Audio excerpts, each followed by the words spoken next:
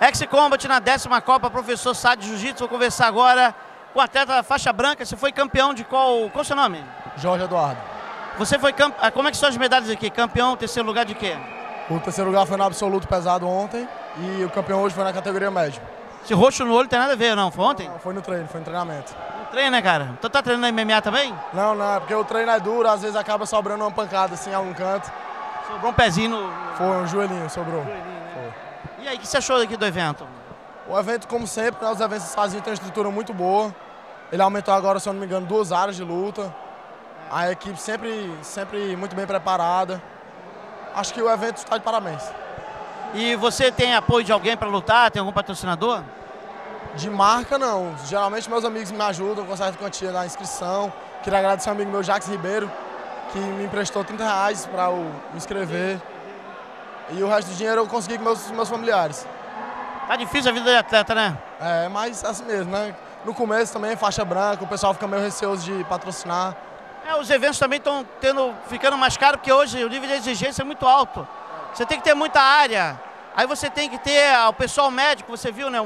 Tem, ontem tinha mais gente atendendo aqui do que atleta. Então, quer dizer, a medalha também é mais cara, né? A premiação em dinheiro, quer dizer, vai. Mas também sacrifica, por outro lado, o atleta, né? Porque fica cara a inscrição, né?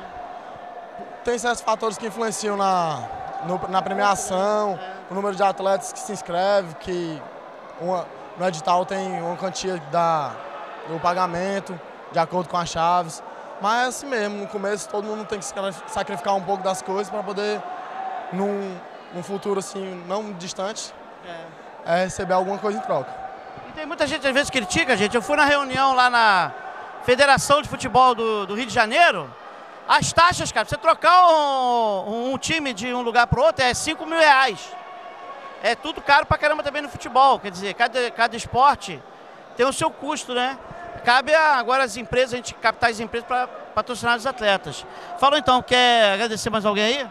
Queria agradecer meu professor, Álvaro Fontes, e a galera da SAS, meus companheiros de treino, que sempre acreditaram no meu potencial e fazem o meu treino bastante duro para poder estar tá aqui nos, nas cabeças do, dos campeonatos. E é isso aí, pretendo lutar muito ainda esse ano e arrastar vários títulos. Falou então, obrigado aí, hein? Paulo Jesus, na, aqui direto do ginásio da Faculdade Católica, na décima Copa Professor Sá de Jiu-Jitsu, Fortaleza, Ceará.